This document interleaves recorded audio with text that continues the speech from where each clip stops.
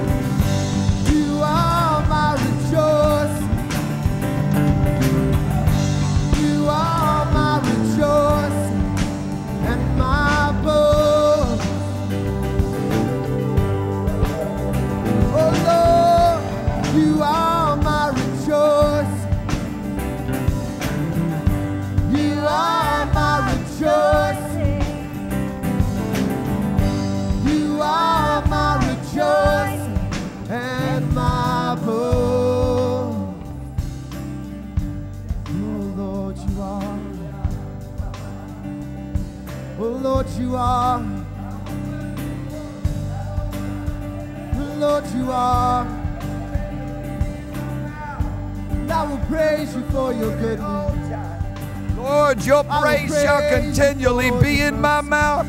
I will make my boast in you, Lord.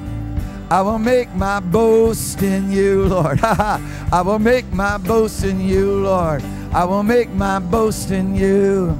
Are you the rejoicing of my heart? And I will make my boast in you. Hallelujah. I will make my boast in you, Lord. Hallelujah. You the rejoicing of my heart. Oh, holy, holy is the Lord. Holy is his name. Oh, holy, holy is the Lord. Oh, holy is your name. Lord, we worship you. We worship you, Almighty God. We worship you, Lord. We worship you, Lord. Holy, holy. Hallelujah, hallelujah. Holy, hallelujah. Girana mangerema, irena na mandana mingolo mozombe beningala na mande imbe malana mendo, jelemeneng jelemina malandera, jelena mandolo bono gombendero. Holy, holy is the Lord. Hallelujah. Woohoo. Hallelujah. Hallelujah. Lord, we rejoice ourselves in you, Almighty God. Lord, we rejoice ourselves in you, O living God. Hallelujah. Ah, ha, ha, ha. Hallelujah. Hallelujah. Hallelujah. Hallelujah. Joyful, joyful, we adore you, God of glory, Lord of love. Our hearts are yielded now before you, responding to the Son above. Our joyful, joyful, we adore you, our God of glory. Our hearts are yielded now before you, responding to the Son of God. Joyful, joyful, Lord, we praise you. Joyfully, we worship you. Hallelujah, hallelujah. Joyful, joyful, we adore you. Our God of glory, Lord of love. Our hearts are yielded now before you, responding. Blessed is your name, Lord. Blessed, blessed is your name, Lord. Blessed is your name. Blessed is your name, Almighty God. Hallelujah, hallelujah, hallelujah, hallelujah, hallelujah, hallelujah, hallelujah, hallelujah, hallelujah, hallelujah, hallelujah, hallelujah, hallelujah, hallelujah. I will praise you. I will praise you. I will praise you. I will praise you. I will praise you. Hallelujah. Hallelujah. Hallelujah. Hallelujah. Hallelujah. Hallelujah. Hallelujah. Hallelujah. Hallelujah. Hallelujah. Hallelujah. Hallelujah. Hallelujah. Hallelujah. Hallelujah. Hallelujah. Hallelujah. Hallelujah. Hallelujah. Hallelujah. Hallelujah. Hallelujah. Hallelujah. Come on, everybody, just shout to the Lord.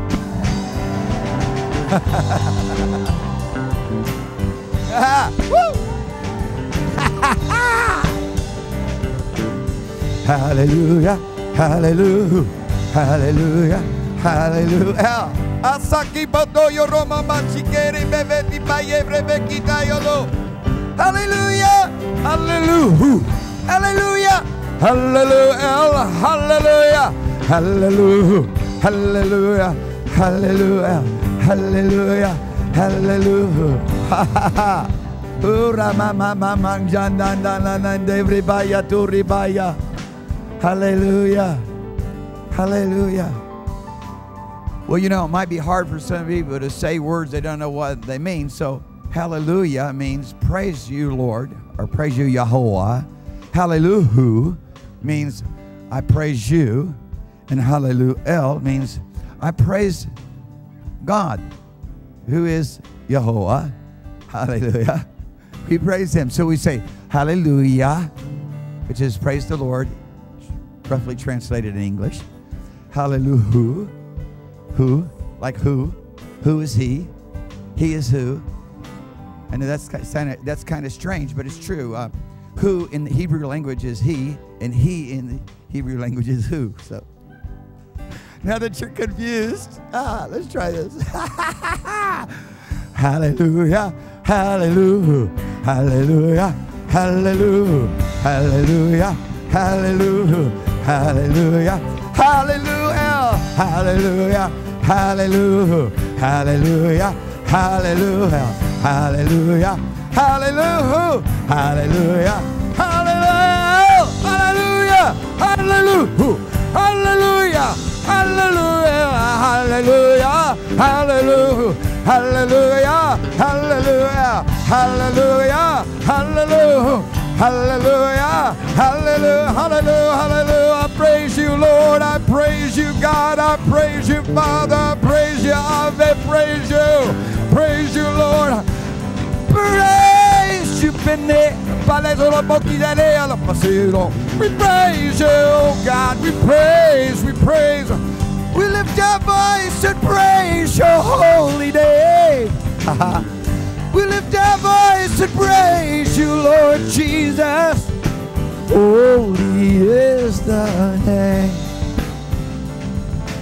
Holy is his name. Ha. Holy is the Lord.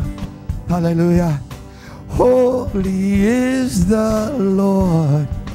Hallelujah. Holy is the Lord.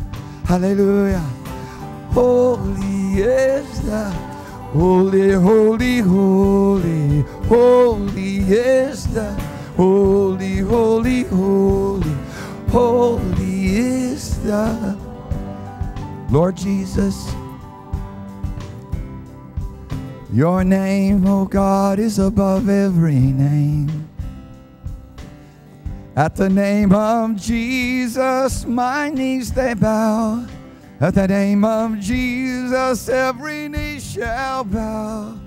Every tongue confess that Jesus Christ is Lord. At the name of Jesus, nations shall be subdued. Uh. At the name of Jesus, every yoke is broken. Ah, but the name of Jesus, sickness and disease departs. Ah, ah, ah, hallelujah. At the name of Jesus, every yoke is broken. At the name of Jesus, every knee must bow. At the name of Jesus, every power, every power must obey me. That's pretty radical. At the name of Jesus, every knee will bow. Say, every power must obey me. At the name of Jesus, every power must obey me. At the name of Jesus, every knee shall bow. At the name of Jesus, nations, nations are made disciples. At the name of Jesus, every knee shall bow. At the name of Jesus, nations are made. At the name of Jesus, nations are made disciples. At the name of Jesus, every knee shall bow. The name of Jesus, every power must obey me. The name of Jesus, every power must obey me. Hallelujah. At the name of Jesus Christ the Nazarene. Ah, hallelujah. At the name of Jesus Christ the Nazarene. At the name of Jesus Christ, there are great revivals. The fires of revival burn. At the name of Jesus Christ, every knee must bow. Father, we thank you for the anointing. At the name of Jesus Christ, the Holy Ghost starts moving. Ha, ha, ha. Woo! At the name of Jesus Christ, every knee will bow. At the name of Jesus Christ, my knees I bow before him. Hallelujah. At the name of Jesus Christ, the Nazarene. We love you, Lord. Hallelujah. We praise you. I magnify the Lord. Come on, exalt his name together. We magnify you, Lord, the mighty God. Holy is your name. Holy is your name. As you worship him, As you worship Him, the spirit of prophecy will fall upon you. As you worship Him, a great anointing will begin to take hold of you. As you worship Him, everything about your atmosphere will change. As you allow these praises of the Holy Ghost to take you into the atmosphere of His presence. Ah, atmosphere of heaven. Hallelujah. Hallelujah. Hallelujah. Hallelujah.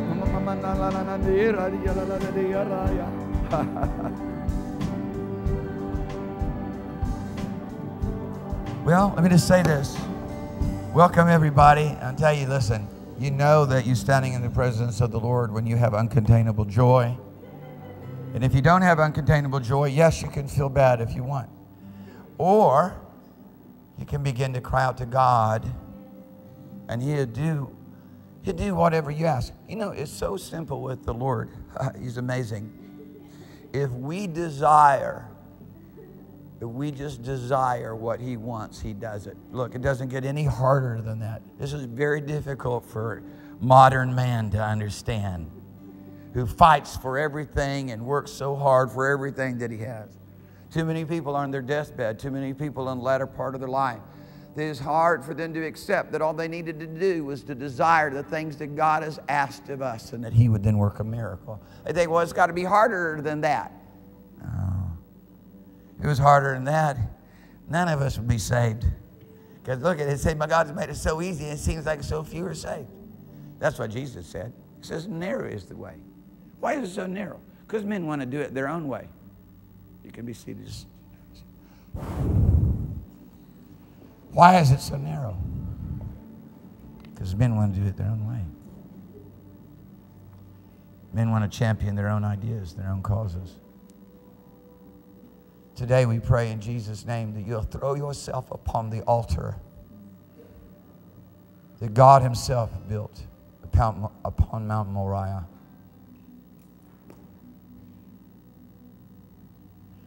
I tell you right now, if there's anything that I want to be happening, is over in the children's ministry right now.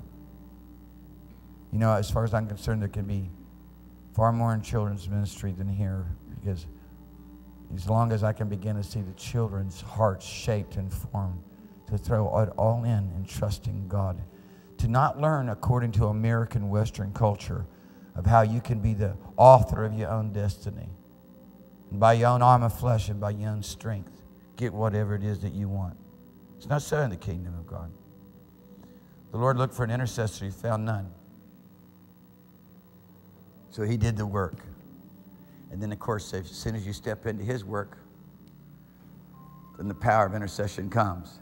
Deborah, you can have your phone on. I don't mind. We're so blessed to have Deborah Oh with us. Deborah is from South Korea. She has Christ for the Nation, South Korea.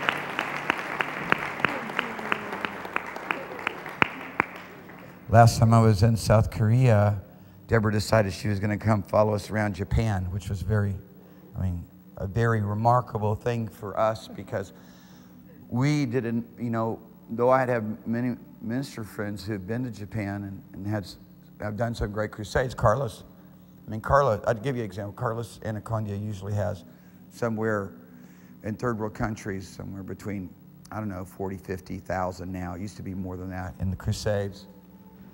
I know so many people like that have been in Japan, and of course, when they go to Japan, the meetings, if there's 2,000 people there, you've had one of the biggest meetings of the nation. It's a, it is a free society that is the most unreached people group that I've ever been to. So the Lord sent us there to prophesy over the nation. And um, in fact, we have some people that I really believe are going to be very significant, have very significant impacts in the kingdom of God in Japan and they want to come and they want to be here in San Diego with us for a while. We're looking for a guest house for them. And of course, it's a family, so you know, it's husband, wife, and baby. And it's been a little bit challenging to find a host house for them. But the Lord has that all taken care of. See, we prophesy, we prophesy, and we say what the Lord tells us to say. And then sometimes it takes a while for those things to come to pass because God's got to put things in position. in uh, I guess it was 13 years ago when we left Na- Naval Training Center after having that property over there and having Harald Bredesen, who people call him Father Charismatic Revival, um, Kim Clement. I mean, the list went on. I just stand here and name names. Say, well, you know, you're going to have this property. God's going to give you this property. This is going to make it happen for a dollar. And, you know, all those things that went on. And then 13 years ago, right at 12, 13 years ago, my dear friend Rodney Howard-Browne prophesied that we would get this property. It, it was already in our heart. And uh, so then, of course, we had already been trying to open up the door to get the property, and the door was closed. But you know what? There's something that happens when you, don't, when you can't be discouraged, when you can't stop. There's something happens to people who, who can't stop. Huh? I'm so blessed with Deborah. She, she doesn't have anybody going and, and putting her arrangements together. She just lets the Holy Ghost do it, you know. She showed up at midnight, midnight last night not knowing where she was even going to stay. Huh? Oh, by the way, oh, by the way, I'm going to be there. And don't worry about it. I'll get there on my own. I mean, she's like, you know, th- these women, they just, they, they take a map and they point their finger on a place on a map the Holy Ghost gives them. And it doesn't matter if it's up somewhere up the, you know, backwoods of Cambodia or Thailand. They just show up with a map. They don't need anybody, anybody else. They don't just show up with a map. They just get there and God does things. You know, that's, that's what, listen, this is the, these are the days. I have a missions plan for for Mecca, Saudi Arabia. I have a missions plan for Tehran, Iran. Huh? I, Ram, at, at Ramadan in Mecca, Saudi Arabia, okay, they're having the big festival, right? Show up, listen to this, show up right on the platform and preach the gospel, get translated in, just about time they get to kill you, disappear. Huh? Now, they get everybody's attention right? Then everything gets settled back down. You reappear. you go and preach the gospel. I guarantee you the receptivity is going to go on to an all time high on the second appearance. Yeah. Now, I'm, i believe these things. If you don't believe them, you can't, you're not going to do Don't worry about it. You won't do it. Huh? But according to your faith, Jesus, there's many times, one of the things I'm doing right now is I'm doing a book on the miracles, signs and wonders in the ministry of Jesus. Jesus disappeared many times. He did. He disappeared many times. Slipped through their hands. When people got a hold of you, they got a hold of you, and they're going to take you to the brow of the cliff and throw you off. And it's a bunch of radical Orthodox Jews. They know how to grab, and they bite too. Okay? They got you. They got you.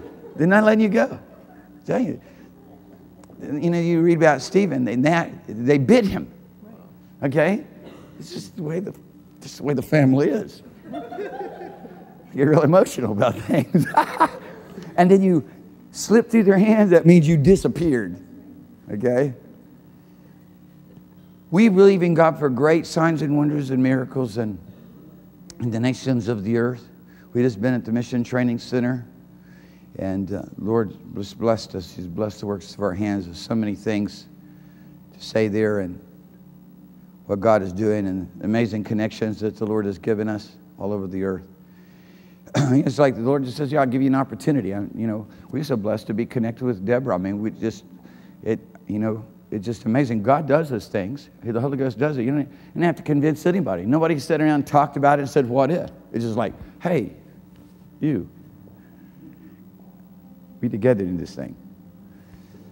And um, you know what, what Deborah's doing right now with Christ for the Nations Korea. I mean, what God's going to do with that. I'm, I'm so excited about it. She's going to talk about it tonight. I'm trying to, she's going to minister some tonight on what's going on in, in Asia and what the Lord's doing with her in the missions for, uh, that she's doing for Christ for the Nations Korea.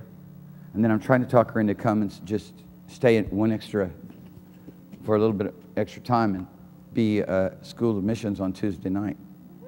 Yeah. So, yeah. You want to live big? Then live in Jesus. You want to live small? You want to live so small that nobody even know you ever existed? Huh? Your grandchildren, or you'll be a vague thought in your grandchildren's mind. Then live for yourself. Huh? You want to live a small, insignificant, meaningless life that no one had a had, had a dream for you to have, except for you? Huh? Then live for yourself. Otherwise, come on over here. Father's opened up the door, says, unlimited possibilities. What would you like to do? All you have to do is put your trust in me. I'm going to I'm going to minister some radical things this morning. Of course, I can't minister any other way. It's a particular anointing God gave me. If you'd like to hear some other message that's not quite as radical, you, I don't know where you'd go. I'm sure, you know, any place, but I'm going to be radical. That's just all there is to it. People, people want you to be different. I can't, what, what do you mean? I want to be different. I want to be what God made me to be. Want, huh? The Lord says, the Lord, the Lord says you can't take any tool or instrument of man and shape my altar with it. Otherwise, you know, I'm not taking no sacrifice off of that. And the Lord called us to live as a, you know, just to be this living sacrifice, holy and acceptable unto Him. Hallelujah. You know, the offering that is holy and acceptable to Him, that's what gets the fire. That's where God's fire comes. And God's fire comes for the same single purpose of causing you and I to live in the expressions of the overwhelming glory of heaven, his presence. People talk about the fires come to burn out this and burn out that. No, no, no. Fire didn't come to burn out this and burn out that. When you look at the Old Testament, beginning in the very beginning, the fire came on the offering that God accepted, beginning with Abel. Hallelujah. It came for the sole purpose of, inter, of being that which interacts with Him. Hallelujah. Of being that which is qualified by Him. When we begin to minister the way that the Lord has called us to minister, people are greatly offended. And the reason they greatly offended is because God's told us to minister on complete abandonment of your life. People are offended by that. But Jesus looked at us and said, If you want to come after me, then you must take up your cross and follow me. And I want to talk to you about the cross that Jesus was referring to because people just wanted to personify it just within the sacrifice and the offering. It culminated in that. But it was all about doing the will of the Father very specifically because I look at people all the time. They don't know how to appropriate denying themselves, taking up their cross, and following Jesus. But we, if we want to understand, then we got to look at our model what it was he did. He said, I did, I came down from heaven not to do my own will, but to do the will of the Father that sent me. He was given over completely to walking in a relationship with the Father where he said nothing except Papa said so. He did nothing except he seen Father to it. And he learned perfect obedience. Another people, I'm going to tell you, that's, that's challenging for folks learning perfect obedience because that means you're going to be corrected all the time. And, and huh, like, listen to me. That means there's going to be major changes in our lives. And people get exhausted with, I, I can't ever do anything right. Yeah, you can. Walk in the Holy Ghost. You do it all right. But, huh? Jesus said nothing of himself. People want the same anointing, they want the same glory, but they're not willing to have the same consecration and the same commitment. Okay? Are you with me? Hallelujah. Hallelujah. Don't, I know this, don't get all upset with yourself. Don't get all into yourself because that is a prison. Release. Get released. Let the fire fall. Be consumed with God. Be consumed with His Word. Be consumed with His Spirit. Be consumed with His presence. That's the fire of God. Know, I'm telling you right now, if you want to grow and be strong in God, then you're going to have to be committed to being in every church meeting you can be in. You're going to have to be committed, to being in, in, in, engaging in relationship with the Lord every day in His Word, in prayer. Not, I'm not talking about some religious exercise. I'm talking about a hunger and a thirst. I'm talking about a desire in your heart. A desire. God, I desire to do your will. Jesus said concerning Jesus, Hebrews 8, 13, um, 10 13. Behold, it is written of me. I come in the volume of the book. In other words, if you take the whole book and you summarize it into one sentence, that's the volume of the book. Are you with me? Does everybody, is everybody, is everybody, do you have Bibles? Maybe you have photographic memories and you can actually see the scripture in front of you. That's fine. But I still think it's a good witness to open up your Bible. Just, I want you to know that people say people think that I people think I I start carrying my Bible around with me. People think I'm just making this up as I go. I'm quoting scripture. I'm quoting the Word of God. I'm crying out to you. People, unless we participate with God the Holy Ghost, nothing's going to happen. God, people want people want God to work with them based upon their term, their own terms. He's not going to work with us based upon our own terms. He wants to break off everything that would hold us back from cooperate with Him and participate participating with Him. You know, go and look at religious people sitting in the church. They got this weird look on their face. And they're not, they don't know how to flow. They don't know how to move with God. Because they, huh? They want God to, they want God to do things based upon their own terms. Just surrender to the Lord. Start participating with Him. And as you participate with the Holy Spirit, what you're going to begin to do is you're going to begin to understand what's going on in heaven. And that's, that's where the life really begins. So are you looking with me in Hebrews 10 7? Huh? She said, I've come, I've come in the volume of the book, the totality of the book, to do thy will, O God. See that? See that? Everybody see that? To do thy will, O God. Okay, let's get this down, right? Okay, let's get this, let's get this right. The Lord redeemed you, saved you.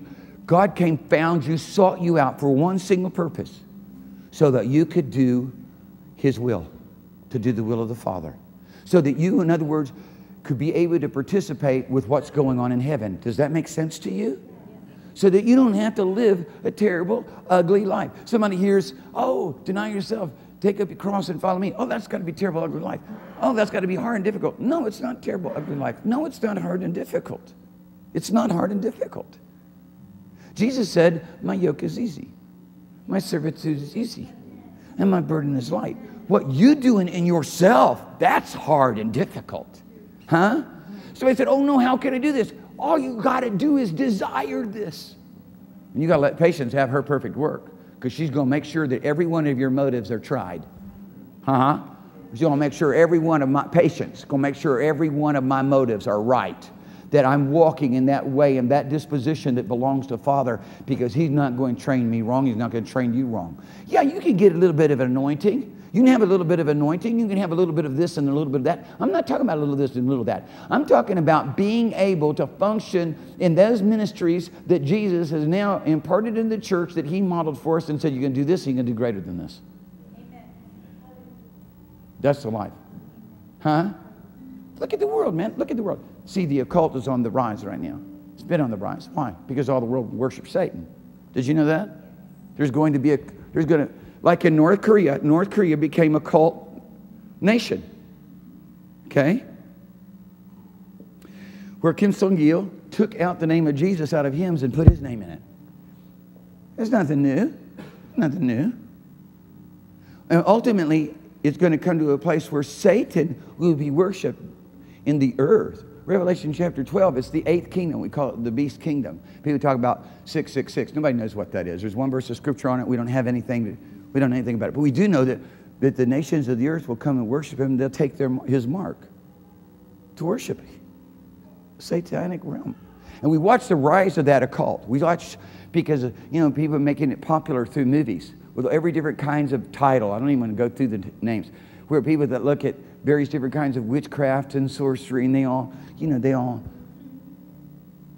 captivated by it. Hey, the Lord's called us into a great power and authority over all the works of Satan to shut them down. And it's like it's like God's people somehow look and gaze for a moment on this great glory. Maybe it's like the days of Moses when God came down upon the mountain. And Israel stood there and they gazed upon that glory and they said, This is too much for us. They start backing away. It's too much for us. Start backing away. So I, am to go. I'm gonna go get a job. I'm to go do whatever. Start backing away. Moses, you go talk to God. We can't even bear to hear him. We look upon the glory and we start backing away. Or we look upon the glory, maybe we just feel like we're just stuck. We right now are looking upon the glory of the only begotten Son of God, Christ Jesus, who's come with an unmeasurable, unlimited realm of everything that God Himself possesses and now has made it available to us, showing us these things by the working of the Holy Ghost, because the Holy Spirit has come to take everything that belongs to Jesus and reveal it, show it, transmit it, disclose it to us. I mean, it's more than a hallelujah. It really is. It's more than a, it's like, yes, oh God, I want to grab hold of this. I want, I want this in my life. It, most of God, I I want, let, let, God, let God take the desire a little bit deeper. Because if you let God, listen, people think they got to work for this. You don't have to work for this. All you got to do is desire these things. And Jesus said, desire them more than anything else. He says, if the kingdom of God is more important to you than anything else, then you can have it. And he's fact, the fact of it is, he said this. He said, you want the kingdom of God and his righteousness to be more important to you than anything else in this life. And of course, we say it like this seek first the kingdom of God and his righteousness, and all these things will be added to you. No, let me get it down to the layman's language. The kingdom of God and his righteousness must be more important to you than anything else, and then you can have all of this. Can I say it again? Should I say it again? Should, should, should, should all of what? Subduing nations. Because Jesus told us to go and make disciples out of every nation. This nation used to be a disciple, and I'm telling you right now, we're calling it back. We're calling for a revival, for it to come back. That's an amen. For, that's an amen for sure. That's a total I agree. We're going to do this. Hallelujah. I watch people constantly in the nation of America be offended by the message that Jesus Christ preached because Jesus Christ preaches a message of total abandonment. It's been taken and misunderstood from one extreme to the other extreme. Back in the time where people would just, they would just go up into a cave and live and, uh, you know, in, in total, a total uh, life of, of self-denial in, through their own concepts and through their own ideas. Jesus not talking about any of that nonsense to all the way to the extreme of, oh, we can just live whatever life we're going to live and God's just going to use us. If He so choose, just go about your everyday business and do whatever it is you want to do and, and God will have His way with you. Nonsense. From one extreme to the other extreme. The Lord says, I want to bring you over here. I want to cast a vision for you. Okay? Here's God Almighty casting a vision for you and me. And then He's giving us an opportunity to desire it. Are you with me? And then to desire it more than anything else. And then, yeah, if you start looking at your own skill set and your own ability, you're going to get all faint of heart and discouraged. and go, wow, my goodness, God's told me to act like Him and look at me. No, no, no, no. You're never going to get anywhere trying to make it happen for yourself. You, when you're in your when you're in a moment of discouragement, I'm telling you right now, Satan will create discouragement. I'm tell you right now, that's one of his chief weapons against God's saints is discouragement. When you're overwhelmed, your heart's overwhelmed, you're gonna say, Look, wait, I want to see Jesus. Lord Jesus, I'm just gonna worship you. You paid it all for me. All, not some. You didn't say, you, we didn't say you paid some for me. Having begun in the spirit Having received a miracle transformation of life, are you now perfected by your own works and skills and ability and insight and labor and effort? No. All I got to do is let this desire that God's placed in our heart begin to become an all consuming desire. To where it's, I will do your will, Father. That's all I want to do. And you don't have to say, oh, I'm looking for the will of God for my life. You don't have to do that. That's nonsense. Jesus modeled the will of the Father. He modeled it specifically, purposefully, generally. He said, Come follow me, come do it this way.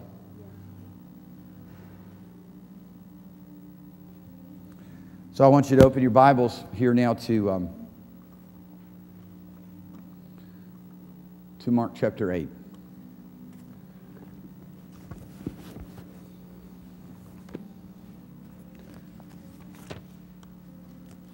Hear those pages.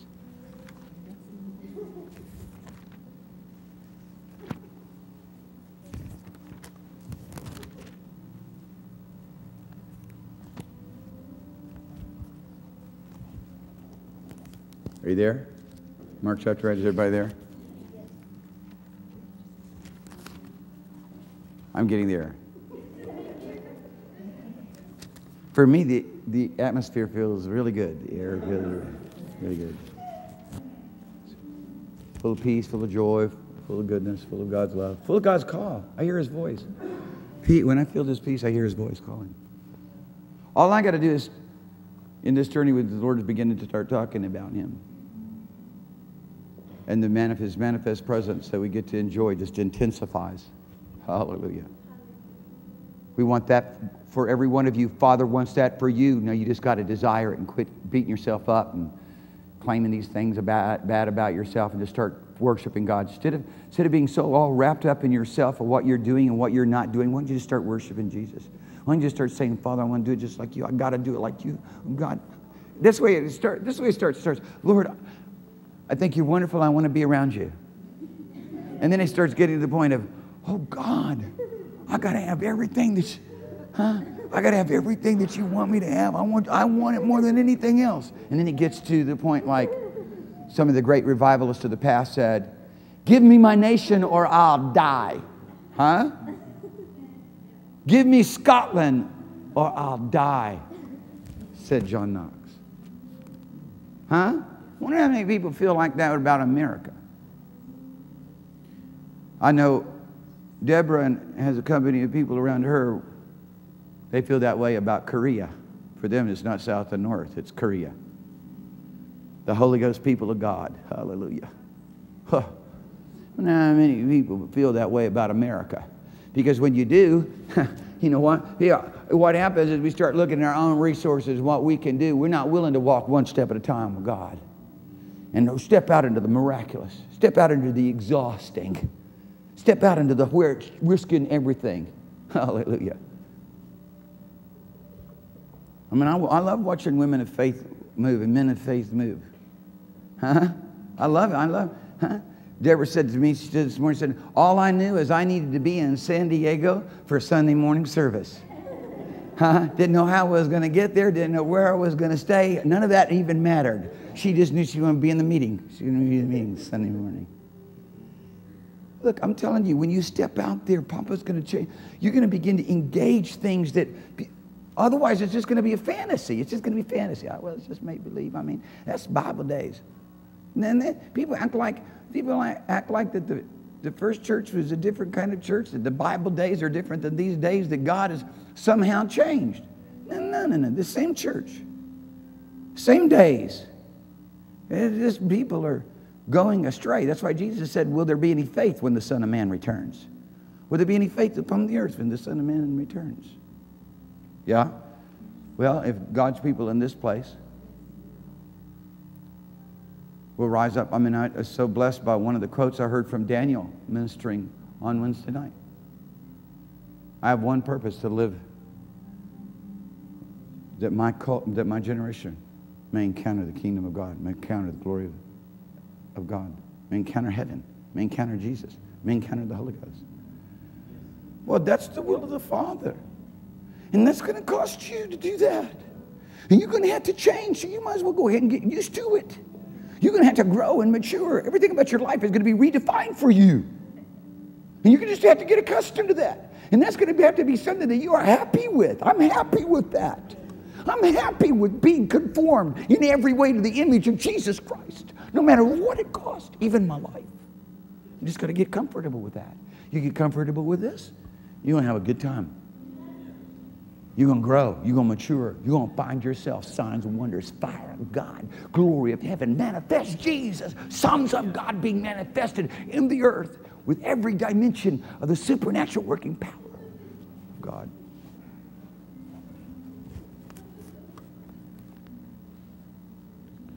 You know, I talked to the Lord about some of the things that we've been able to do in other countries of the world. What we were doing was we were minding our own business, doing what God told us to do, hungering and thirsting after the things of the kingdom, and hear the word of the Lord say, Go now, do this. Get there, and the nation has changed.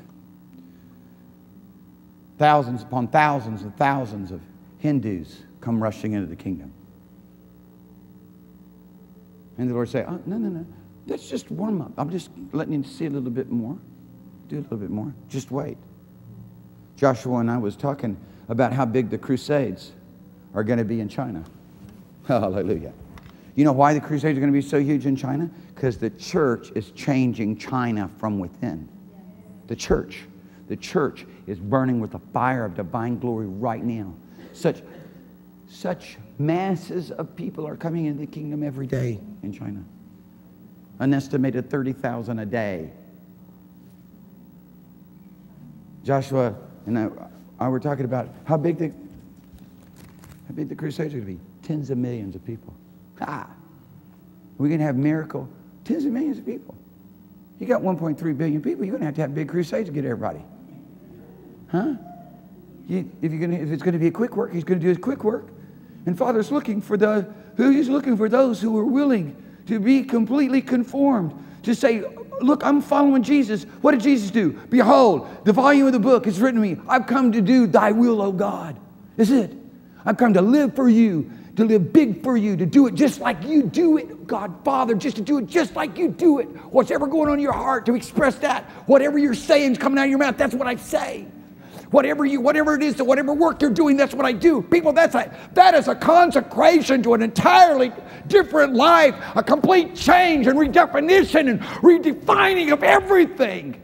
And that don't happen by accident. That's purposeful. That, that, that, is, that, is, that is a cross. It's a cross. It's a cross.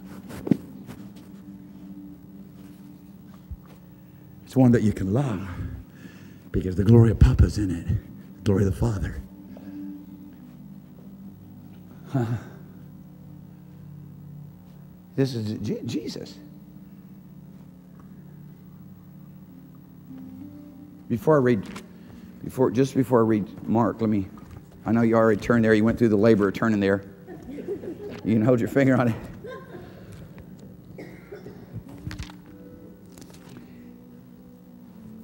Hebrews chapter 12.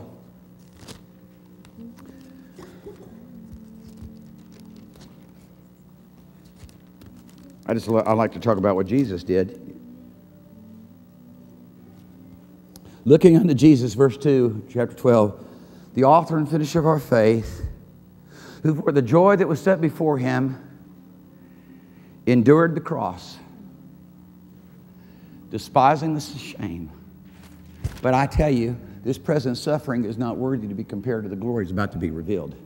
Present suffering, despising the shame, and is now set down at the right hand of the majesty on high, expecting till his enemies be made his footstool. Hallelujah. Hallelujah. Ha ha. And he must reign. He must reign. He must reign. He went and sat down. The heavens must receive him until the resti- restitution, restoration of all things.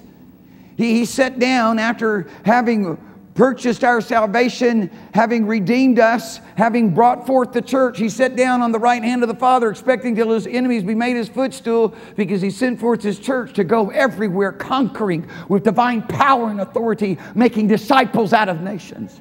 Showing forth his glory with subduing power over every work of Satan to cast out every unclean spirit, to trample underfoot every power of the enemy. That's what Jesus gave to those who would follow him. I give you power to tread upon serpents and over all the power of the enemy, and nothing can by any means touch you. Hallelujah. As he said to the church at Rome, I know God will crush Satan under your feet shortly.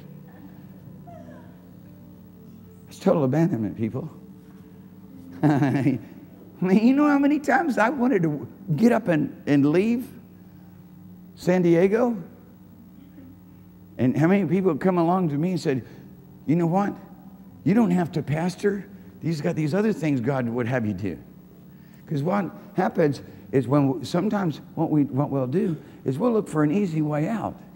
And we can all justify everything in our mind. You know that thief? He stole that money and he justified it. He said this. He said, they owed it to me.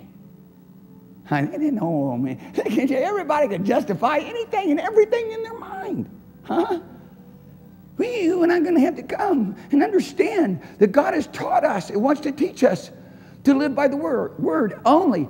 People said, I'm going through a desert. You know why you're going through a desert? Because you're hard of learning. Why did he take them through the desert? Deuteronomy chapter 8. So they may learn that man does not live by bread alone, but by every word that proceeds out of the mouth of God. Well, what will that result in? Look at what Jesus said. Look at what Jesus did. This is what it will result in power to overcome Satan Because Satan is there tempting him, saying, If you say you are who you say you are. That's what the devil's always saying about those who are anointed of God. If you are who you say you are, then you command these stones that they, mean, they may be made into bread.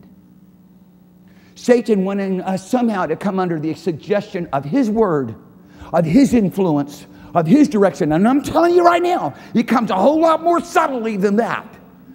Huh? And when you break the stronghold of the subtle by the obedience, it will come even more personified and more radical. And Jesus, what did Jesus say? I only do what Papa says.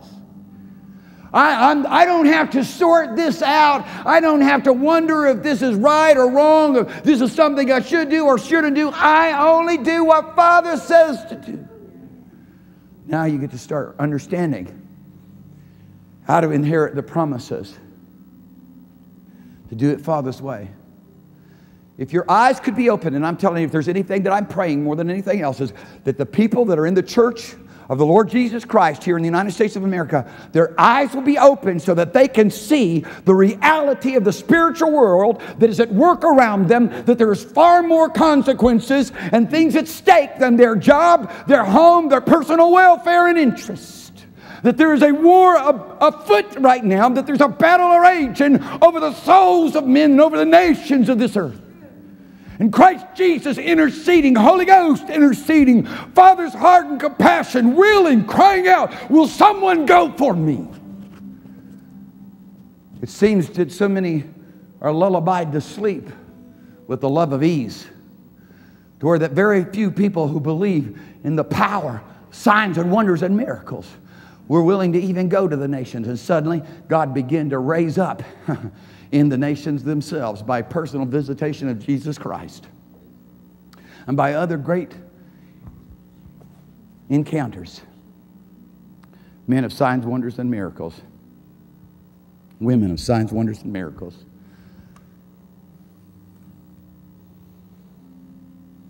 God has given us the power of complete change. That's what it means to be reconciled. Reconciliation, katallage, is the Greek word that's used there. It's change. And the change he's given to us is a change from our life to his life. It's instantaneous, it's a miracle, it's a provision, but now you must participate with it and be trained and learn through obedience. Even as a captain of our salvation learned obedience. People want to know, I believe it like this. No, I think it like this. No, I want it like this. No, it's supposed to be like this. Oh, I disagree or I agree. Forget about all of that. How about learning to live by the word of God alone? How about saying, okay, Father, I'm going to get it real simple. I'm going to get real basic here with you. I know what you said to do. Now turn to Mark.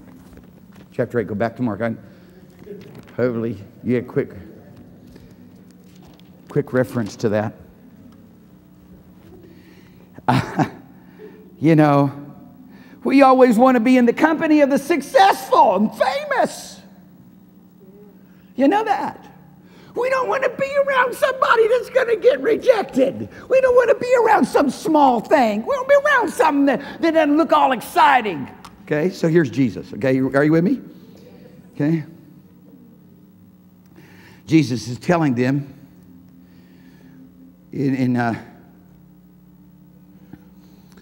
verse 30, begin about verse 31, he's saying, I'm going to be rejected. The priests, the leaders, they're not going to accept me. They're going to despise me and they're going to put me to death. And Peter's going, No way, man. We're going to rule and reign around here. What are you talking about? Okay, stop saying that. Look, this is, this is going nowhere but to the top. We on the move here. You talking about rejected, despised, gonna die? Give me a break. He's holding on to that which men like to think, which men like to be a part of, which men like to believe. We preserve our own lives. We'll fight for our lives. We'll fight. We'll fight to the death for, like, you know, one more advancement in the queue on I 5. You understand what I'm saying? I just drove back down the I 5. Other people are out there, man, they are out for blood to get one more up on another car. self interest and self preservation and me and mine and what I feel and what I think has to be broken. God has poured out the spirit of humility and justice and mercy upon us so that it can be. Otherwise, we never would be able to have a chance.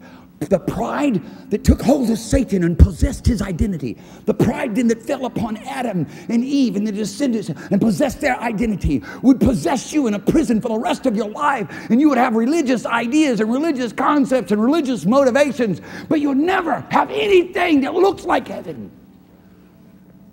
You'll never have power to say to Satan, Go to the mentally insane. And they're completely set free.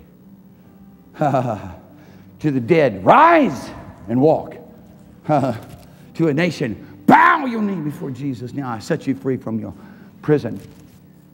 When Carlos Annacondia came on the scene and started going, Listen to me, Satan. Of course, he said in Spanish, and he said it so radically. And many of you sitting here have heard him. Escúchame, Satanás. I destroy your work. I destroy your power. You must obey me now. And whole cities and towns and regions were liberated because a strong man was spoiled. I mean, a strong man was bound and the house was spoiled. I said, I'm going to get in close with that. That's what I said. I'm going to get in close with that. And, and, and I, I didn't have to invite myself. I got invited. He said, Carlos said, You want to go with me? Come follow me around. One day, Carlos told me, he said, I want you to start going and doing crusades. I'm going to set crusades up for you. I want you to start going and do them. I'm going to release you into my ministry to go and do them. And I was excited about it, but as soon as he said it, the Lord said, No, you're not. I was excited. I was smiling on my face, going, I'm ready. And the Holy Ghost goes, You're not going. Men will have great ideas for us. They mighty men of God who do mighty things. That yes, the Lord wanted me to connect with him, and the Lord wanted me to uh, hold on to his coattail, and he's still a father figure to me to this day, and I love him with all my heart. And his, va- his friendship is extremely important to me. But I have to follow Jesus. Huh? You have to follow Jesus. And then people can't tell me that they're following Jesus when they retreat to their jobs and to their own success, and to their own interest, and to their own business, and to their own, you know, come on, self-interest. You can go and follow Jesus by laying down your life somewhere in the preaching of the gospel and the reaching of the lost. Amen. Amen. Well, understand, you must follow him. But you can't tell me you're following Jesus when you're not doing what it is he did and what He's called us now to do. I'm telling you, there's a price to pay. There's a price to pay. I told my wife this morning again, I said, honey, we were worn out last night. We spent about somewhere between 30 and 42 hours, 30 and 42 hours on driving, just as, since Monday. I said, baby, I cannot afford to get old and say, I could have done more. I'm going to lay this foundation. I'm going to lay this foundation. If I get to build the house, amen, I'm going to lay this foundation. And when I give up the ghost, I'm going to say, Receive my spirit, oh God. I'm going to say, I've fought the fight. I've kept the faith, Father. I've, I've poured out myself as an offering upon your altar. And I want you to do the same. I'm preaching to you this way because I want you to do the same. And if God's people will begin to respond and begin to do the same, to begin to do it. I pray more passionately than I've ever done it. What's going to happen is this nation will have revival and the nations of the earth will be changed in short order. In short order. In short order. In short order. Jesus could have transformed all the nations of the earth in three years. He could have. But he was sent only to one nation, one, Israel. To go to his house, to declare to the descendants of Abraham, I'm here and I'm the light to the Gentiles and the Savior for all peoples of the earth. Lay his life down at Calvary's cross, then to raise up his church, who is the personification of himself in the earth, and send us. Hallelujah. We took up an offering the other night here for North Korea. Some of the people, at least one of the, some of the people, I'm going to say it that way, because we're on YouTube, that were here in that meeting are right now in North Korea, right at this moment in North Korea. North Korea is going to be changed by who? Nations struggling with each other? Lobbying for position? Fiery Holy Ghost church crying out to God, desiring to do thy will. It is written of me, I desire to do thy will, God. And it's more than just walking around, oh, I desire. It's get yourself moving. Huh? Because I could be sitting in a room somewhere desiring to do God's will. you know what I'm saying? I get up, start preaching. Get up, start moving. Get up, start following Jesus Christ. Somebody said, Oh, Pastor, you just want us all be so busy. No, I don't. I want you to all follow Jesus Christ. Go do these works. He said, If you're ashamed of me uh, before this adulterous, sinful world, I will be ashamed of you before my Father and the holy angels. I'm not running that risk. Neither do I want to manifest some flesh as I stand stammering before men and don't know how to represent the kingdom of God. I'm not going to come with the speech of which men's wisdom can, can produce and intellect, but by the power and demonstration of the Holy Ghost, we got to go that way. There's a price to pay to have that. As soon as you pay the price, you'll have it. Let me tell you what the price is to be willing and obedient. Because there's a lot of people willing. Oh, I desire to do thy will. I'm willing. But they're not obedient. They're not willing to go. Now step out and go and do it. Step out. But what happens if I lay hands on people and they don't get healed? Well, what happens if you lay hands on people and they do get healed? When I first started in the ministry, and of course, I was my dad's a minister. I was raised in the ministry, and uh, I would lay hands on some people. Nothing, nothing happened. I would just say to some people, you healed. Just that was it. You're healed. And they'd be completely healed of incurable diseases. It was just, it's his, his father does the work. He's, just, he's allowed to try us. Circumstances would try us. Now all of a sudden we lay hands on somebody and they don't get healed. What are we going to do? Start feeling like, you know, I don't got the goods. We start thinking about ourselves. It has nothing to do with you. Whether it works or doesn't work, it has nothing to do with you. And the first thing Father wants to show you is it doesn't have nothing to do with you. It belongs to Him. Holy Ghost does what He wants to do. And He does it based upon our willingness to be obedient, be faithful.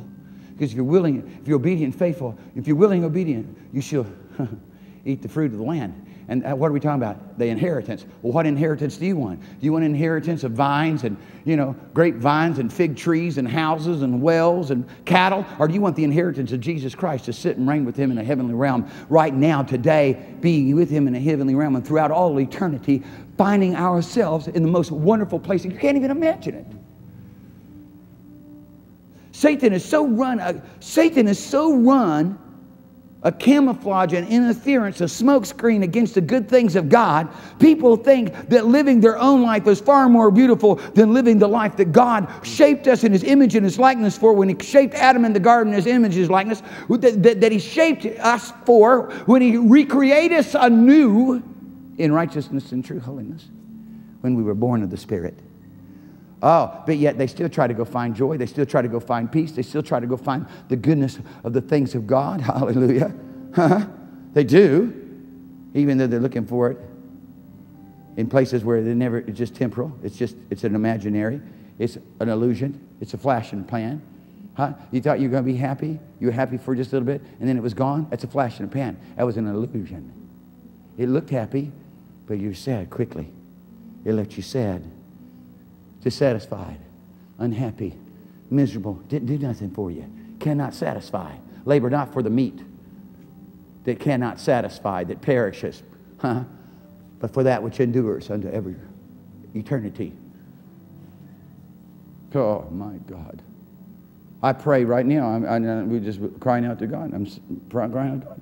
Father, let the influences of those that are over there ministering to the children right now let them not shape them for some academic success, some personal gain, but let them be shaped to go offer themselves upon a sacrifice, an altar somewhere for the kingdom of the living God. So that, why? So that so to be a martyr? No. Because in such an act, the power of God's divine glory will be revealed, and the deception and the blindness of heart and mind that are on people will be removed, and the signs and wonders and miracles of a living God would be being, being, being, being made manifest. Amen. Amen. Hallelujah. Hallelujah. I was talking to Phil the other day. I, I believe that Phil has built the, the greatest, most cutting edge missions that has ever been built since Livingstone. And it wasn't too long ago, it was a, 10 years, well, a little longer than that. And Phil was just running around, just long haired, you know, hippie looking guy with his guitar, with an anointing to sing and worship. But he said, he's got passion. I got to do more. I got to do more. And one day he comes to me and he, and he, he tore his tendons and his ligaments in his arms, cutting trees and pulling the trees. He had a bunch of other people around working in Zambia, Africa, building, building the cafeteria to house the, house the, the missionaries that were going to come be raised up. And there were, there wasn't, there wasn't really anybody around. Now the place is full. Now Angola. No one else can get in Angola. Phil's got Angola. They'd given him land in Angola. He just had two kings and all the grand chiefs and I mean, just God had just opened up every door just overnight. I mean, it took. I said, Phil, how long has it been? How long? He was telling me, man, you should have been there. He's going on, talking about how wonderful it was. I said, Phil, how long was it getting here? I'm just talking about the start of the labor. Just started the labor. Seven years. Seven years to get here. We're finally here. We're trying to get in Angola. God's opened up doors that has never been opened before in the in the in the Amazon. But, but, but, what happened? What had to happen? Somebody had to desire. Somebody had to desire. There had to be this desire. God, use me to do your will. I want to do it like you described it to do it. And then not just willing but obedient. Said, I'm gonna, I'm gonna, I'm gonna get up and take the risk. When Phil said, when Phil said, when Phil's ligaments and, and, and, and tendons were so sore he couldn't even, couldn't even bend his arms. I said, I'm sending my tractor to you right now. I'm going to be a part of that. I'm going to find a way to be a part of it. I'm, I'm, I'm in the middle of that. I see what you do. I'm, I'm, I'm in that. I'm in that. I'm not letting you do that anymore. Here, here's what we're going to do. Now I'm, now I'm participating. Now I'm in. Now I'm a sacrifice too. Oh, well, I can say, well, I need it over here. Uh, I'm going to be over there with you. Well, I can do it. I, will I'll drag it around with my arms for a while like you did. And you take my tractor and I'll drag it around with my arms kind of thing. You know, are you with me? See, do you hear? Do you hear something? Do you hear a desire that's more than just, you know, uh, you know, I kind of like to desire. I, I kind of like to have a vacation in, in Manila. I mean, what? That, not that kind of desire, an all-consuming passion. It will not let you go. That you that causes you to get up out of your seat. Huh? Reinhard Bonnke said that there's one thing that God cannot do. There's one thing God cannot do move you off your couch.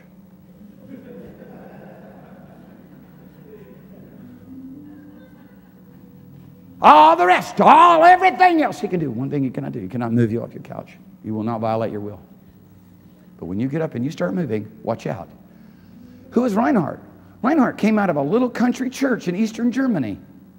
Just a few folks there. Holy Ghost, radical, you know, come on, holy rollers swinging from the chandelier, Pentecostal assembly of God. You know, that's it. This is the church. But the wind of heaven began to blow in his life, the fire of God. I'm telling you right now, Benjamin, you get ready because the Spirit of the Lord told me to tell you start preparing sermons, start preaching. You can get, you can get moving, buddy. You can get over your fear. Huh? You're not fearful in any other thing, so you're not going to be fearful here either. You're going to stand up. You're going to be who you got, who's God called you to be. Huh? So you don't have a choice. Some people just, you know, you gotta let you, gotta let you just, huh? Gotta let you. I was, I was having to deal with a cow the other day. Me tell you about my cow. Can I tell you about my cow? I'm dealing with a cow. I was waiting for that cow. I had to give her vaccines. I had to give her shots. And she's so fat she could hardly get in the squeeze.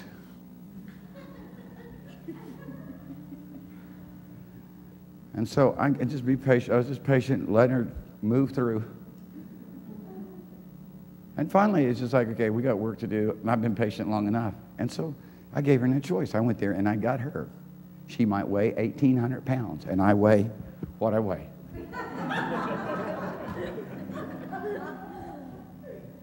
but there's just there's no way that she could deny will, the will of a man. You know what I'm saying? There's no way we can deny the will of the Father. Huh? There's, there's some point in time that's just like, okay, I've been patient. Now I'm, I'm, I'm pulling you out of that thing. I had to back her out, actually. I'm going to tell you, dear people, you sit around here, just stay here. Just stay here with the desire. Just stay here with the desire. If you don't look desirable and if you don't look like you, the desire is deep enough, I'm going to come to you and say, I don't think your desire is deep enough. And you get upset, but as long as you stay, you're going you're gonna get somewhere, I'm telling you right now. You may stay a long time upset and sad and sorrowful looking and, you know, just nobody else understands. You know what? Nobody understands anyone. So you're in good company when you think nobody just really understands. And that's what everybody thinks. We want to just get into a, like a, a, you know a group session and, and, and, and you know express to one another their interest and their concerns about how nobody understands. But that ain't going to do anything. Hallelujah. All of a sudden, you just have a desire change, a deeper desire.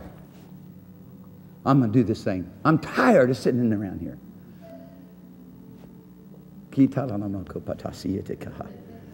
How is it going to work? It's impossible. How can how is it going to how's it going to work? The Lord's not going to let you know. He's going to say, just take one step and do, your, do what I told you to do. Well, I don't see how this one step is going to make a big difference here.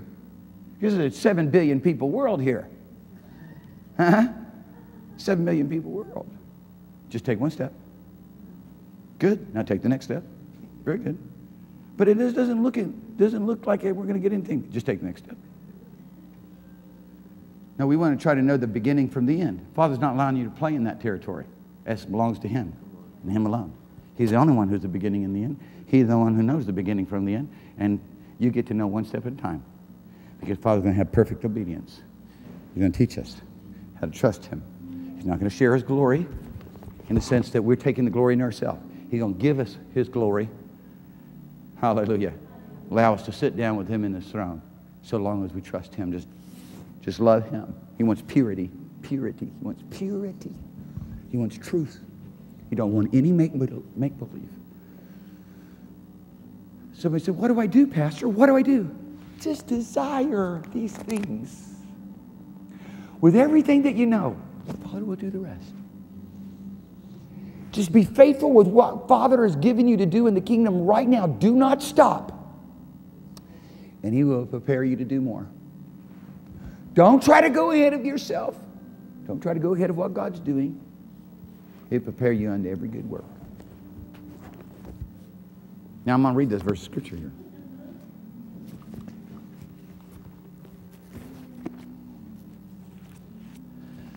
I tell you right now, in the name of Jesus, change comes.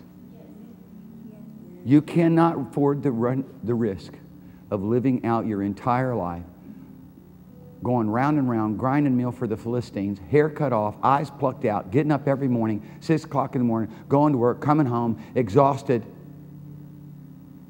Every once in a while, making it to church, little shout, little hallelujah, little amen, little praise God, little Holy Ghost shuffle or something. Please. Will Father still love you? Yes, He will still love you. Will He show you His goodness? Yes, He will. But you won't be much use. And right now, we need some people. We need some people that are going to be useful in the kingdom. I, I, I tell you, it, it, just bothers me. Everybody standing around praising themselves and, and rejoicing in themselves and, huh? Delighting in themselves. Oh, we're so wonderful. Turn to your neighbor and tell your neighbor that they're so wonderful. Goodness. I like the advertisement. Pinocchio would not make a good motivational speaker. Because every time he'd say something, his nose get longer, and everybody would know that he's lying. And in some respects, it would make a good preacher. And I say that cautiously. Because people be rejoicing in themselves, delighting in themselves, boasting in themselves. No, no, no, no, no, no. It's time for you to deny yourself. It's time for you to recognize you need to radically change. It's time for the Church of America to recognize wait a minute, we need to radically change here. It's time for us to stop delighting in ourselves and saying how good we are and how well we've done. If we've done so good and we've done so well, this whole nation would be burning with the fire of revival instead of being in jeopardy. The nations of the earth would be too. But the reality of it is, when, see, 1922, oh, 1922, 2002, I was with, um, I was with the president of Voice for the Martyr because Voice for the Martyr hosted me to do a conference for pastors in Alexandria, Egypt. And the person I was with is a guy who's just, his thing's church statistics.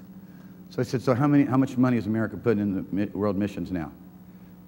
What's the total decline since 10 years ago? What's the total decline since 20 years ago? How many missionaries in America, uh, is the United States of America sent to the foreign field? What's the decline over the past decade? What's the decline over the past 20 years? He's just spouting it out, just, just total decline. Who's now sending more missionaries than any other nation of the earth? Who's putting more money into the kingdom? And you know, I was just like, wait a minute, man, we got to have revival. We got to have a move of God. People are just doing it. You know, it's just like, get rich and be happy in Jesus kind of thing. No, no. God's going to make wealth. It's, going to, it's wealth for us to go pour out upon the lost. The Lord told us, true and undefiled, uns, unspotted religions, take care of the orphans and to take care of the widows. And He's told us to take care of the orphans. He told us to take care of the widows. He's told us to take care of traveling ministry. He told us to take care of His house, His church. Huh?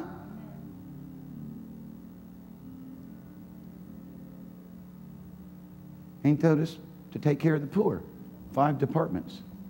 Well, my goodness, that's a lot of money, isn't it? It's a lot of finances. Well, he's going to resource us if we'll do it. Yeah, he is. Watch what happens. We've laid the foundation. We've laid the foundation to bring, promote orphans out of Holy Ghost orphanages that were raised in Holy Ghost orphanages within the network of those who God has brought us together with, to bring them into the United States of America, to train them to give them the best degree that they could get in the United States of America under the academic supervision of the University of Oregon, to send them back to the mission field, to their own nation. And, we and it's going to come to pass. And I might be dragging some logs around right now and digging some ditches, but you watch what happens. I might be just digging some ditches, but Father's going to fill it with water. Father's going to fill it with water. And in whatever ditch you're willing to dig, He's going to fill it with water. And those of you that are participating with us and, and, and just coming here and being in the meeting, there's a lot of people not here today. My heart goes out to them. I, I hope that what they're doing is really that important. I hope that they truly aren't here because they are following Jesus somewhere.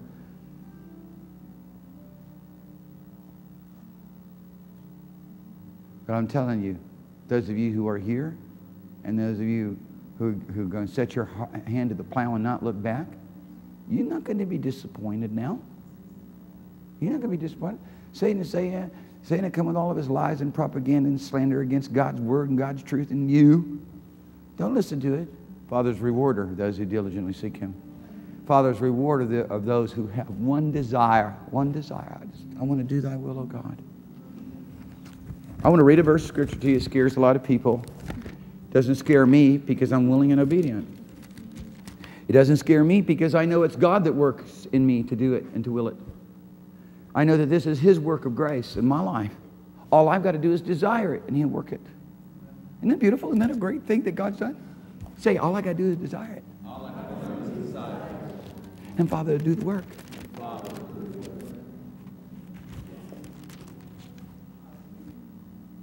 But there's one thing God can't do, and that's get you up off your couch. So when you say that, you got to make sure that you do say that in this context. Jesus said this in Mark, Mark chapter 8. And um, starting in, in verse 31.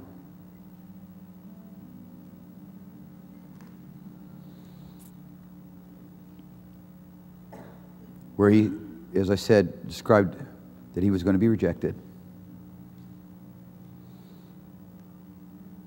And then has to deal with Peter's own purpose and ideas for his life.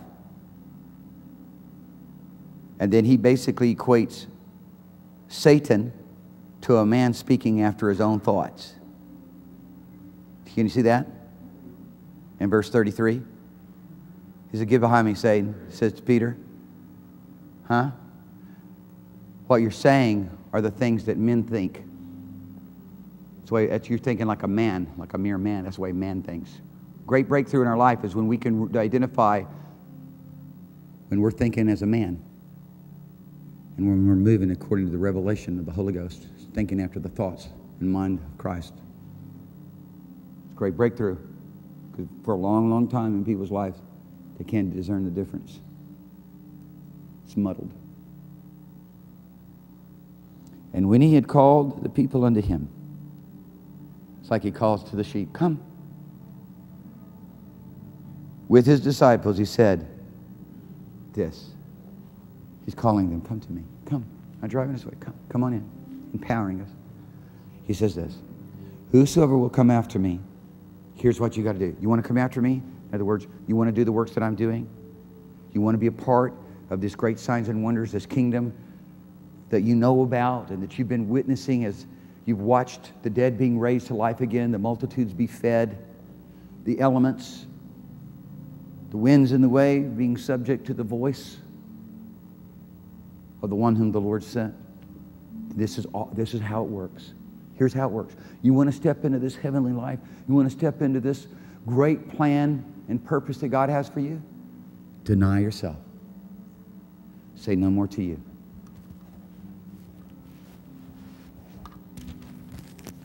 Deny yourself. What does that mean? My own ability. Abraham tried to bring to pass God's promise out of himself. And so an Ishmael came. It wasn't by the power of the Holy Ghost. It wasn't by him just waiting on God and being faithful. And my goodness, Abraham wasn't sitting at home in, in Babylon. Are you with me? He's up moving. He's up risking everything. Father said, I will bring it to pass. I will bring it to pass.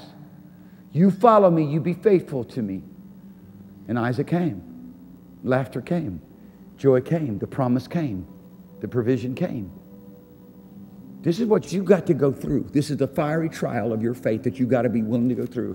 And I'll pray in the, name of Jesus Christ that, you go, that you're not going to sit around here for years thinking things like men and, and, and, and not being willing to respond to the Holy Ghost, but with total abandonment. Say, Here am I, God. And with that total abandonment, saying, Here I am, Lord, participating with everything that He's given you an opportunity to do. And, and keeping a fiery desire. Fiery desire. I, oh, yeah, you know, I grabbed some coffee the other day. And it'd been sitting around a while. I took a sip and said, Hmm, it's not bad. It's lukewarm. It's not bad. I can tolerate it. It's lukewarm. But the Lord won't tolerate lukewarm fellowship. He won't. He'd rather be hot or cold. The cold, he can move on and draw them. The hot are in agreement with his will. That's fiery. That's a fiery passion. It's a fiery desire. Are you with me? I'm going to keep. I'm going to keep the fire burning. Blasta perataya. Local suparo nepeya. Halamangeste perati. Mongrunjashi. I'm blank You come in here by the help of the grace of God, I'm going to throw a bunch of logs on your fire. Oh, if you smoking, we're going to pour, we're to pour some, we're to pour some oil of, of joy on you. Hallelujah. Light a match, if need be. Sukara si gandhi kara. Asi. Asipro. Istan. Lingla. Brusate. Suyana ate. So just receive right now. Kushaha. Hallelujah. Father's anointing you.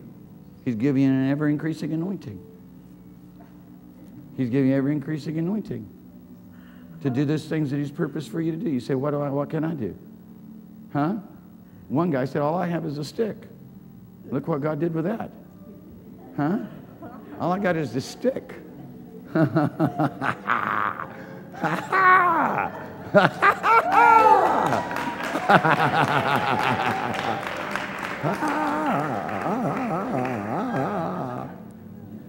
but you got to deny yourself because you tried to do it your way.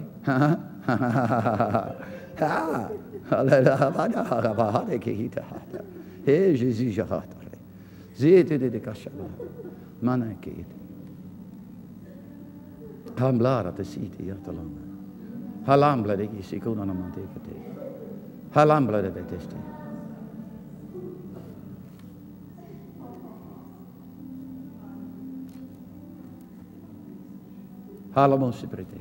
I'm going to tell you something that's scary. Are you ready? Most people cannot recognize themselves. Ouch. They can't recognize themselves. It's a great spiritual breakthrough when you can identify what is of self and what is of the Spirit of the living God. It's the beginning of the knowledge of the Lord. It's the beginning of how now you can move in faith. Has to start here. It has to start. You want to do what I'm doing? You want to walk like I walk? You want to have this inheritance? I've made you heirs and co-inheritors, co-inheritors with me. You want to have this?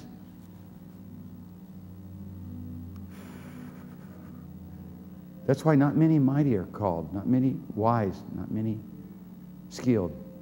Base people, weak people. People don't know nothing. Ignorant fish, ignorant fishermen. Huh? Hallelujah. Hallelujah. They don't have to work through this whole, you know, gamish of trying to, you know, let go of their own ideas because it's ignorant fishermen. Tell me what to do because I don't know what to do here. You can work with a person like that. The person, I get over. That's not the right way to do it. You can, you know, come on. There's no moving forward.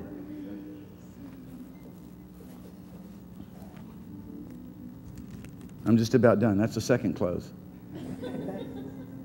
Or was that the first one? I guess first close.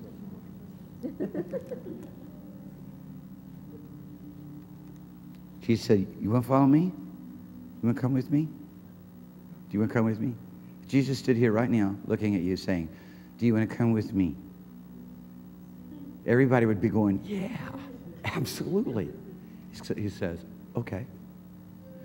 You must deny yourself. You may come with me. I'll take you into the realms of glory. I'll take you into the places that you cannot even begin to imagine. The good things, the wonderful things that I'll do through your life. But you must deny yourself. You must take up your cross in order to be able to follow me. And he's going to make it real he's going to make it real specific. He's going to say this. For who will whosoever will hold on to his life or live for himself or his own interest or purpose or for the self-preservation of their own interest.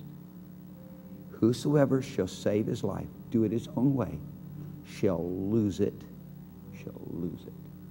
Shall lose it.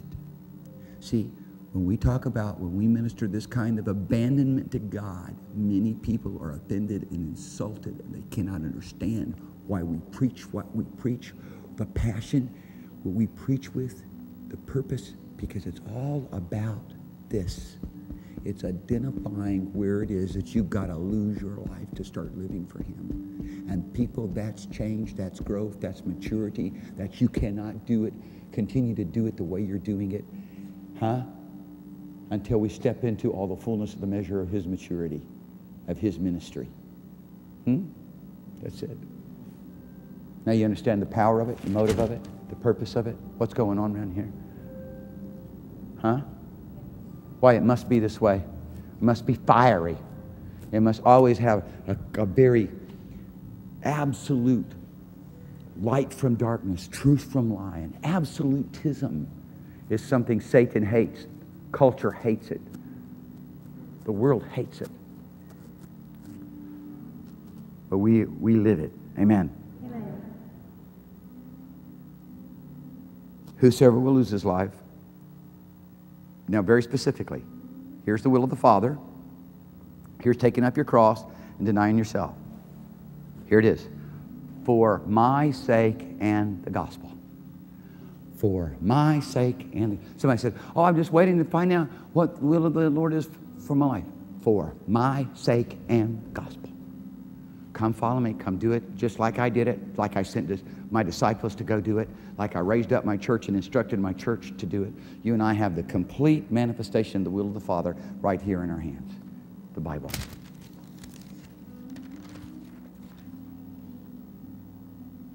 For what shall it profit a man if he gain the whole world lose his own soul?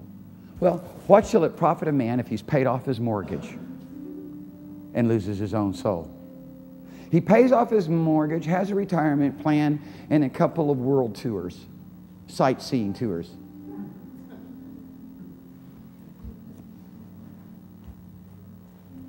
At least the person that Jesus is talking about got the whole world. They had all the riches and all the wealth and all the prestige and all the power. I mean, they went big on their trade. Some folks trade their soul, they trade their inheritance and their life for a bowl of beans. Because their God is their belly. A bowl of beans. Esau sold out for a bowl of beans, but he wanted the inheritance. Can't have the inheritance without the birthright.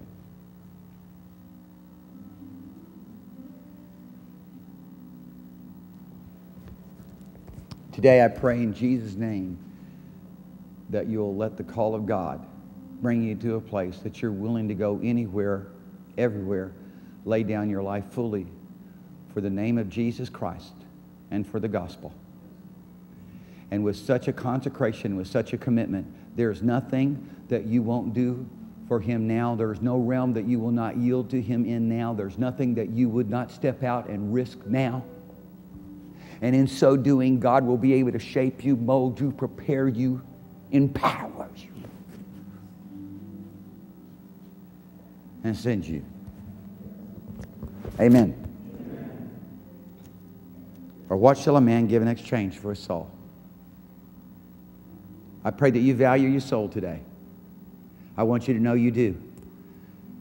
Now you get to you, your your soul is a trading commodity. What you going to sell your soul for? To what price do you put it and value it at? What you going to do with your soul? God's asking you what you can do with your soul. It's a trading commodity.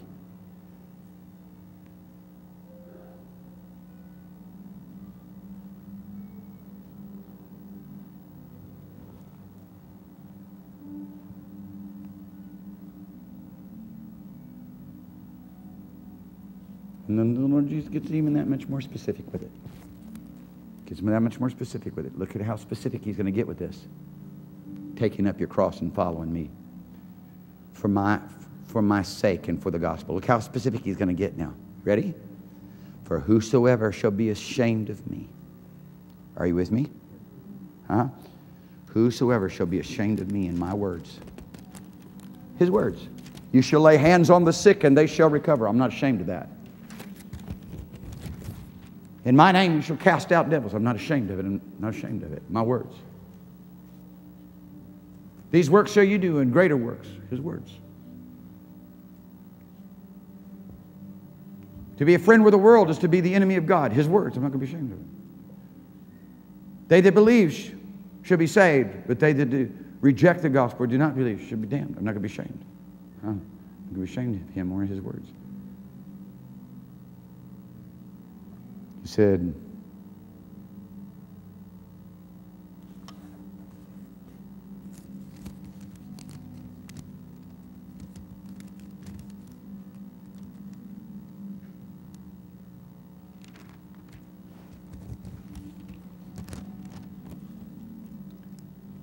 Of course, the Lord used some pretty harsh words there.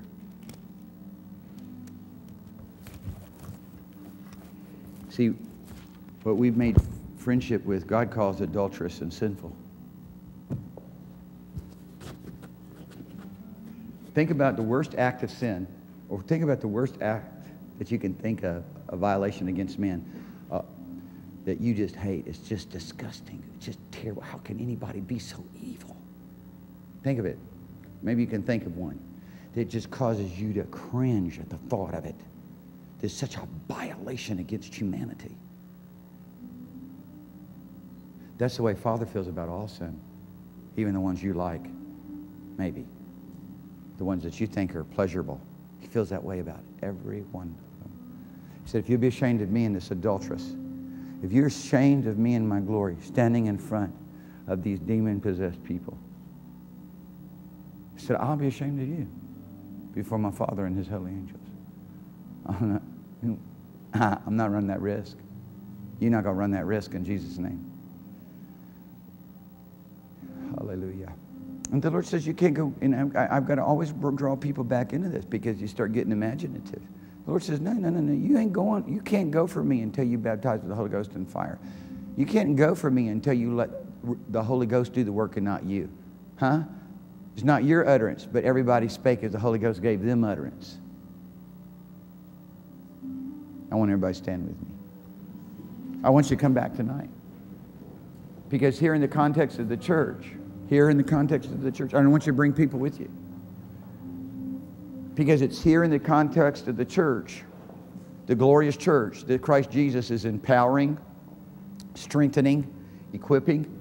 Listen to me. You listen to me, because I know what I'm talking about.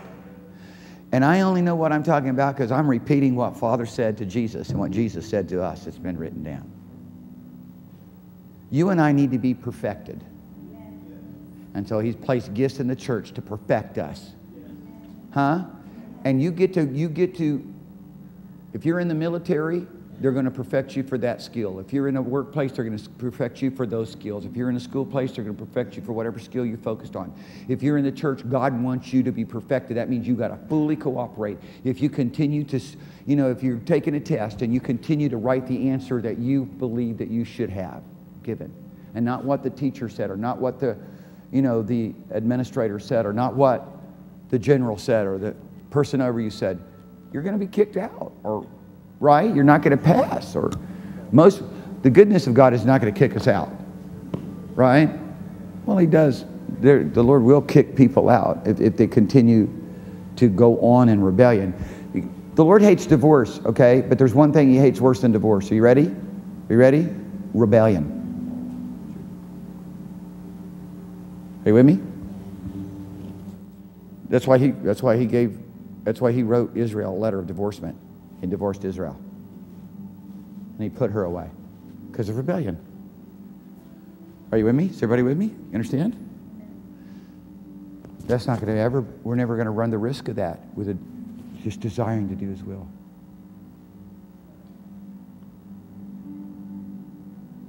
Today, the healing anointing of Jesus Christ is here for every single person.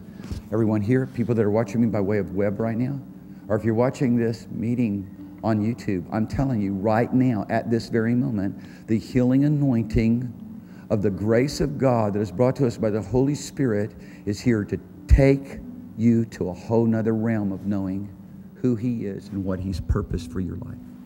Listen, I'm talking to every one of you. Some of you have been held back by hurts. Some of you have been held back by ideas. Some of you have been held back by discouragement. Some of you have been held back because you're just overwhelmed. Just don't be held back anymore. Some people say, well, what do I do? This is what you do cooperate, participate. So the Lord's placed in His ministry and His church that which would perfect you so that you can do a work of the ministry. But the perfection has to come before the work of the ministry. Somebody said, What do you mean by perfection?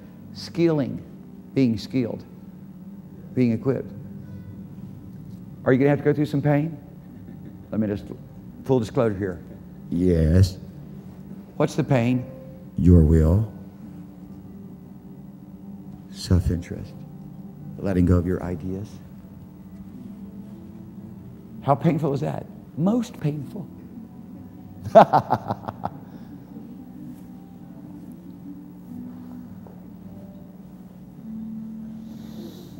Thank you, Jesus. I was so blessed the other night when Brother Joshua was here, and I called. I called for the I called for those who were lost in the house that didn't know they were lost and they didn't respond. But then I called for everybody who wanted to give their life somewhere on a mission field was ready to go all the way for Jesus. And everybody in the house that belonged to the church here came forward. And I'm telling you, that, that's it. That's all I'm interested really in. Okay? It's time we rise up and start going, going everywhere, preaching the gospel. In the workplace, today, in the, today where you go, wherever you go, preach the gospel. If you're sitting there arguing with your wife or your husband, you're not preaching the gospel. Huh? if you're if you're being affectionate and kind and sweet and there's a there's an expression on your face of peace and love and grace. Hallelujah. You're preaching the gospel.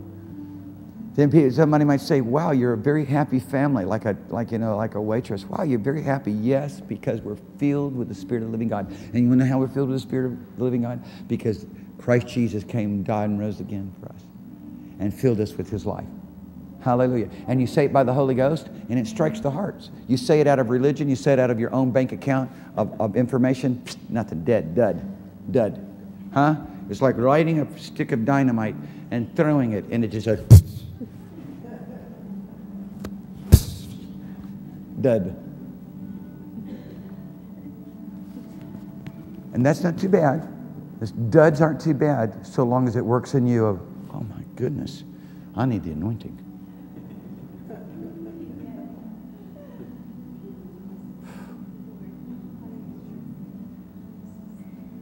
Jesus is calling every person in this place right now.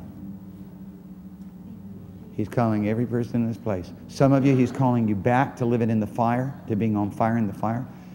But He's calling every person in this place to come stand in the fire, on fire in the fire. I counsel you to come bu- buy gold on fire in the fire, that you may have white raiment. Hallelujah.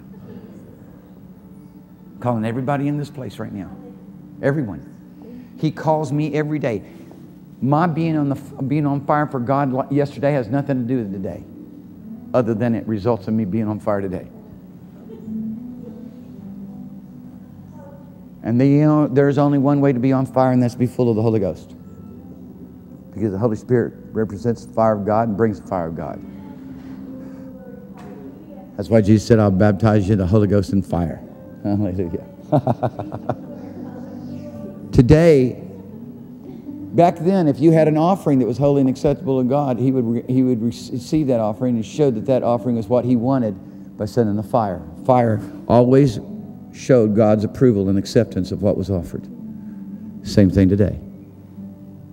That's why Peter said in Acts chapter 11, we know that God gives the Holy Ghost to those who, are, who obey him. It's time for Pentecost all over again. Believe me, I'm going to tell you right now, Pentecost become a religion just as much as Methodism and anything else, other isms.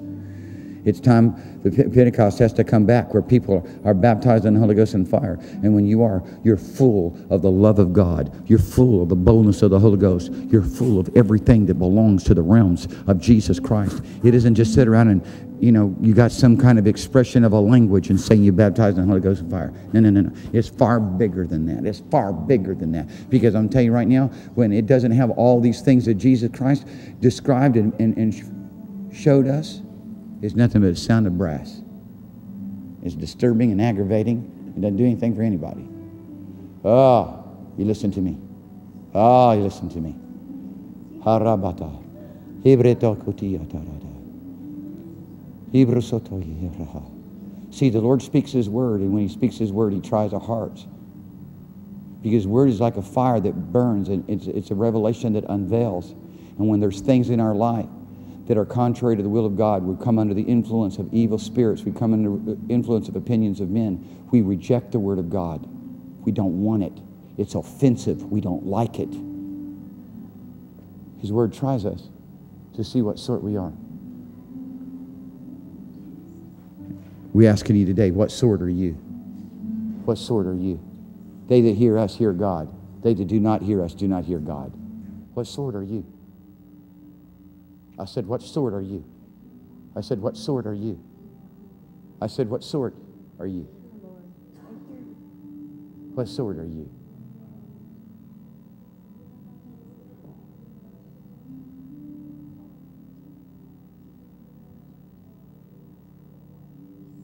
Just lift your hands towards heaven. If you're, if you're sick, be healed. If you're cold, be hot. If you're lukewarm, be on fire. Whatever's disease or sickness or problem in your body, be healed right now. I don't care who you are, what you are, huh?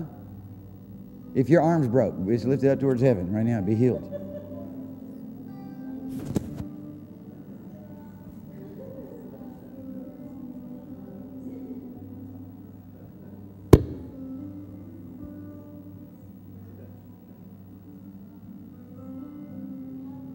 Jesus. Say, Lord, I thank you for the healing right now. I thank you for the change right now. I thank you for the strength, for the, strength. the, enabling ability, to be different, to do it your ways. From this day forward, I'm yours. I'm going to have your opinion from now on. I'm going to take my opinion and shove it to the side. I'm going to have your opinion. Hallelujah. Hallelujah. Hallelujah.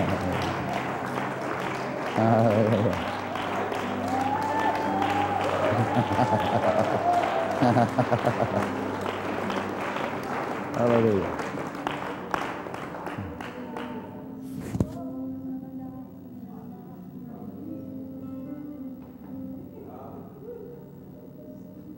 Signs, wonders, miracles are here right now. Change, healing for you. Wherever you need healing, wherever you need change, it's here. Miracle power here right now. Places filled with the provision of heaven. Whatever you have need of. Yeah. Thank you, Jesus.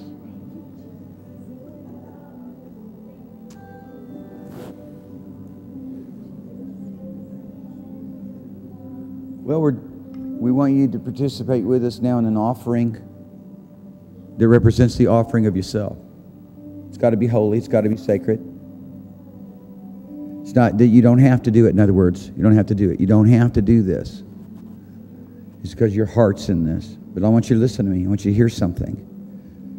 I mean, we're going to pour out everything we got. Just we, we're, we're inviting you to participate with us in this. We're not holding anything back. We're going to go, we're going to, you know, it's like they say out there go big or go home kind of thing. We're going big. And that's right, because that's like, if we're not going to go big, let's go home, and home's heaven. You know what I'm saying? Because, I mean, you know what? If we're not going to go big, we, what, what, what, what value do we really have? It's time to go to home, go ahead. Go be with the Lord Jesus. But I'm going to tell you right now, I'm not going to get, I'm going to stand around Christ Jesus one day and Thomas come tell me he did more than I did.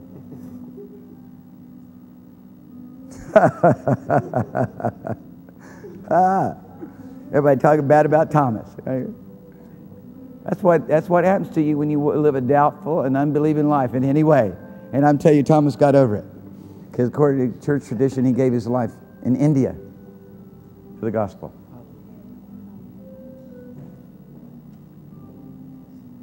Hyderabad is calling. There's places in India have not heard, seen the power the of God, and they, they need, they have to have the power and the glory of God. They can't have our baggage, our problems, our issues. They need to see Jesus. And that's why Papa's going to anoint you with Holy Ghost and fire, and in a radical way. Get ready. Just get desiring, Papa, only your will, only your will, only your will, Lord. Only your will, Lord Jesus. Say, Lord Jesus. Everybody say this with me. Say, Lord Jesus. Make my heart so tender. So willing. So willing. So I can do it your way. What a miracle grace Father works when we just ask Him. Thank you, Jesus. Come here.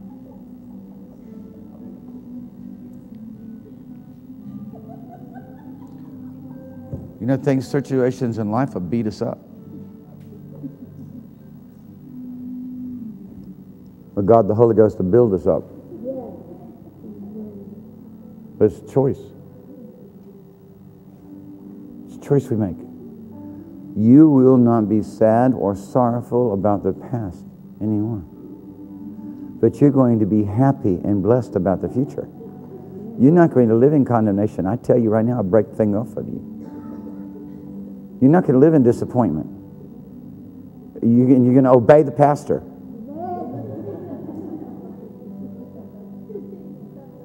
You're going to live in appointment, a divine appointment. In Jesus' name. In the mighty name of Jesus Christ of Nazareth. Every harassing, tormenting thing.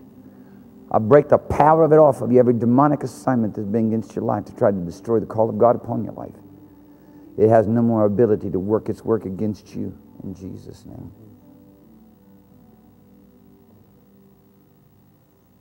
Be filled with the Holy Ghost. Be filled with the Spirit. Be filled. Be filled. Just lift your hands towards heaven. Want you lift them, lift them up there. Let God touch you. Lift them up a little higher.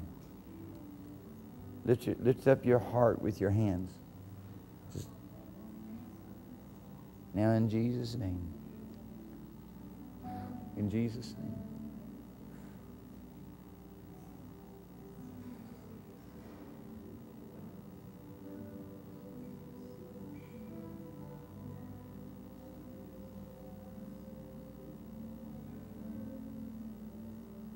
In Jesus' name. In the name of the living God, from this day forward, everything changes. Out of your belly flows these rivers of living water. In Jesus' name, this inexhaustible moving of His presence in your life. Now, in Jesus' name. Now, in Jesus' name.